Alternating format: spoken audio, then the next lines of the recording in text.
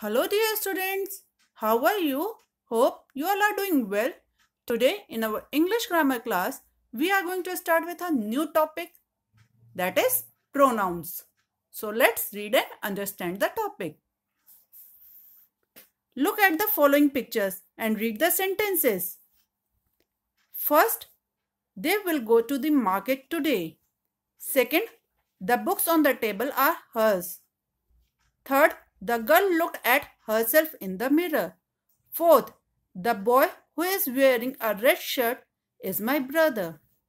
Fifth, this is an elephant. Sixth, which is your seed?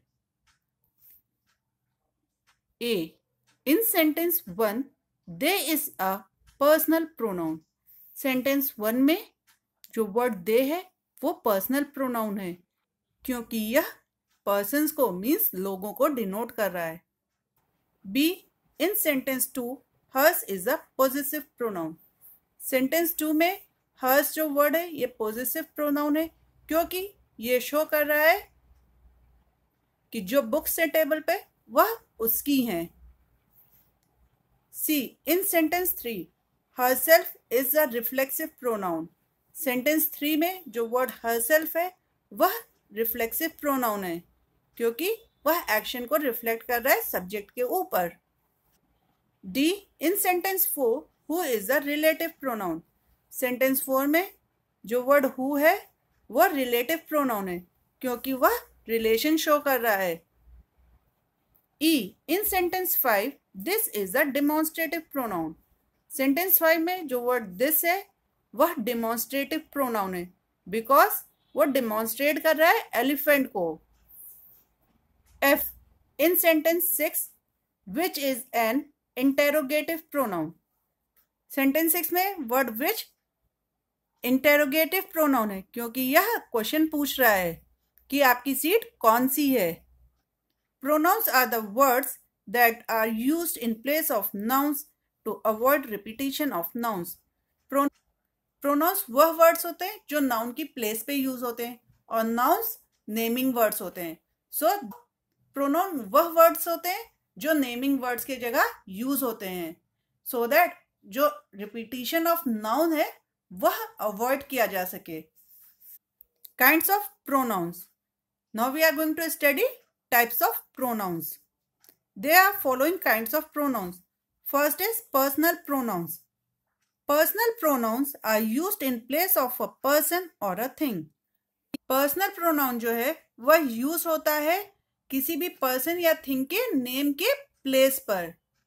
Example first he is singing a sweet song he means वह। यहाँ name नहीं mention किया है but he लिखा है। तो यह क्या है? पर्सनल प्रोनाउन है। He is a personal pronoun second I am going to school I I क्या है? पर्सनल प्रोनाउन है, क्योंकि यह किसी पर्सन के नेम की जगह यूज़ किया गया है। और वो पर्सन कौन है? मैं। Third he loves internet he introduce his mother to it इस सेंटेंस में ही और इट क्या है? पर्सनल प्रोनाउंस हैं, क्योंकि study the following table pronouns first person singular जब फ़र्स्ट पर्सन सिंगुलर हो then we use I me my और जब प्रोनाउन सेकंड पर्सन हो और वह सिंगुलर हो then we use you yours और जब थर्ड पर्सन सिंगुलर हो, तब हम कौन सा प्रोनाउन यूज़ करते हैं? He him his she her it its now जब प्रोनाउंस फ़र्स्ट पर्सन में हो बट प्लूरल हो मीन्स वह सिंगुलर नहीं है। वह एक से ज़्यादा है। तब we use we us our और जब सेकंड पर्सन प्लूरल हो we use you your pronoun second person में, चाहे वो सिंगुलर हो, चाहे वो प्लूरल वह सेम ही रहेगा। थर्ड पर्सन प्लूरल जब प्रोनाउन थर्ड पर्सन में प्लूरल हो we use they their them second possessive pronouns. Possessive pronouns refer to possession, ownership और belongingness.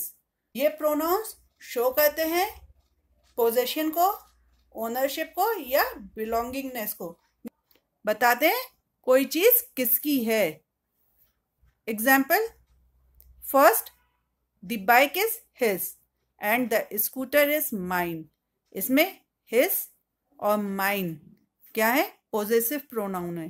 क्योंकि second these books are theirs so इसमें क्या है? देयर्स ये पोजेसिव प्रोनाउन है. बिकॉज़ देयर्स शो कर रहा है बुक्स की पोजेशन किसकी है? Third the red toy is his इसमें हिज क्योंकि हिज वर्ड बता रहा है कि रेड टॉय उसका है. सो Mine our his hers, yours, its, theirs are possessive pronouns. Third, reflexive pronouns.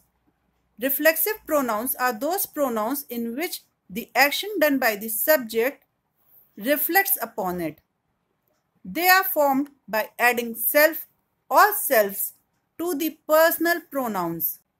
Reflexive pronouns वह pronouns होते हैं जिसमें एक्शन जो भी सब्जेक्ट के द्वारा किया जाता है, वह उसी के ऊपर रिफ्लेक्ट होता है। और ये तब बनते हैं जब हम सेल्फ या सेल्फ ऐड करते हैं पर्सनल प्रोनाउंस में। Example first Lipika is doing a homework her self एक सेंटेंस बन सकता था Lipika is doing a homework Lipika अपना होमवर्क कर रही है।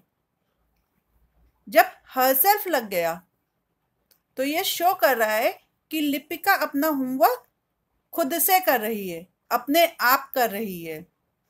सो हर सेल्फ क्या हुआ? रिफ्लेक्सिव प्रोनाउन रिफ्लेक्ट कर रहा है क्योंकि ये। Second doctor P K Verma is driving the car himself इसमें हिमसेल्फ क्या है? रिफ्लेक्सिव प्रोनाउन है। क्यों? क्योंकि यह शो कर रहा है कि doctor P K Verma car drive कर रहे हैं अपने आप। सो so, अपने आप क्या हुआ? हिमसेल्फ और यह रिफ्लेक्सिव प्रोनाउन है। Third Nisha and Cheena are playing themselves इसमें देमसेल्व्स क्या है? रिफ्लेक्सिव प्रोनाउन है। बिकॉज़ यह शो कर रहा है कि निशा और चीना अपने आप खेल रहे हैं। वो दोनों अपने आप खेल रहे हैं।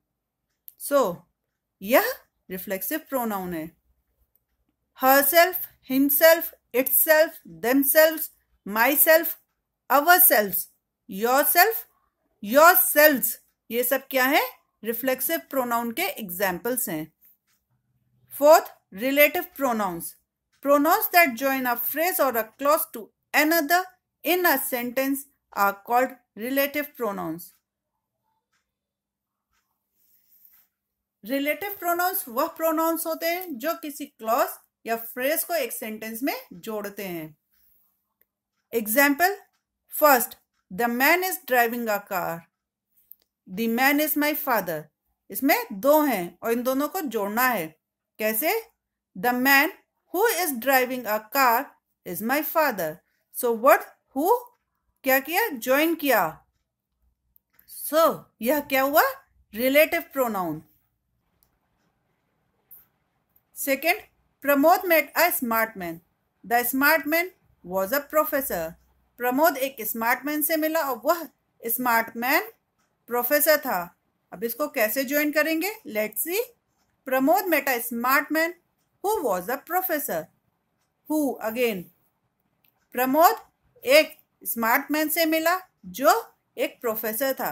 So who is a relative pronoun who whom whose which that, ये कुछ एग्जाम्पल्स हैं रिलेटिव प्रोनाउन के। Fifth demonstrative pronouns demonstrative pronouns point out some person और thing they stand for they are usually followed by a verb demonstrative pronouns point करते हैं किसी person या thing को जिसके लिए वह यूज़ होते हैं। और ये यूजुअली फॉलोड होते हैं वर्ब के साथ। Example first this is a black dog this word use हुआ है ब्लैक डॉग के लिए। यह क्या हुआ? Demonstrative pronoun this that these those यह कुछ एग्जाम्पल्स हैं डिमॉन्स्ट्रेटिव प्रोनाउंस के। Let's see few more examples second these are sparrows so these word किसको पॉइंट आउट कर रहा है? स्पैरोज को। इसलिए यह डेमोन्स्ट्रेटिव प्रोनाउन है। Third third those were our relatives so those word किसको पॉइंट आउट कर रहा है? अवर रिलेटिव्स को। इसलिए यह दोस्त क्या है?